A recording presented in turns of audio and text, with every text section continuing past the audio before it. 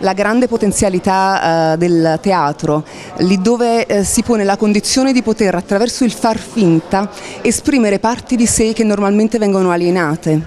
per cui eh, paradossalmente indossando una maschera si ha la possibilità di toglierla quella maschera. Ripartono gli atelier teatrali territoriali, percorsi di formazione artistica e di costruzione civica ispirati all'impegno di Edoardo De Filippo per la tutela dei giovani a rischio. Presentati questa mattina al Teatro San Ferdinando, i nove laboratori avranno luogo nei quartieri di Forcella, Sanità e San Lorenzo. Ora a Forcella, che è un luogo dove io e Marina Ripa, insomma con FPL lavoriamo ormai da anni, abbiamo aperto anche mh, questa possibilità di lavoro con gli adolescenti, anche con le figlie delle donne con cui lavoriamo. Scegliamo Romeo e Giulietta perché mh, è un testo che comunque appassiona gli adolescenti e ci si ritrova anche personalmente a delle coincidenze di vita, anche in un quartiere appunto come, come Forcella, famiglie che lì litigano, situazioni sentimentali non facili e quindi il personale, il paesaggio interiore verrà sporcato da Shakespeare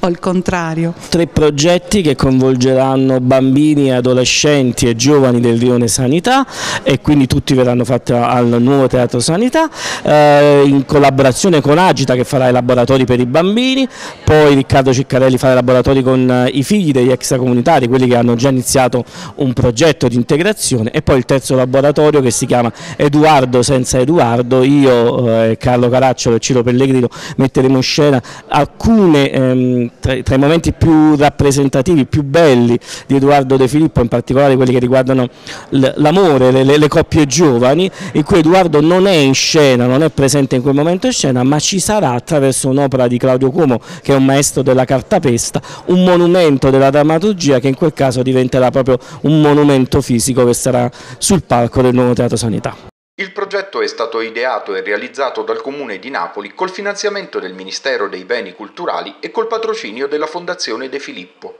Attraverso il teatro e la magia del teatro la capacità di coinvolgimento dei teatranti, tanti ragazzi trovino occasione per esprimere e dare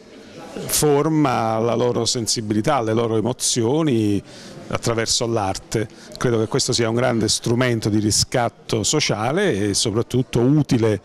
a dare opportunità ai ragazzi e offrire loro un altro punto di vista sul mondo rispetto a contesti difficili in cui in genere trascorrono la loro vita. Eh, abbiamo già esperienze significative in questo senso che si sono venute compiendo, in particolare per esempio nello spazio comunale di Piazza Forcella, il nuovo Teatro Sanità e quindi aggiungere nuove esperienze, accrescere la rete, creare nuove sinergie, favorire gli scambi anche tra ragazzi di quartieri diversi che fanno queste esperienze ci sembra un modo serio di affrontare i tanti e complicati problemi che crescere nella nostra città comunque induce.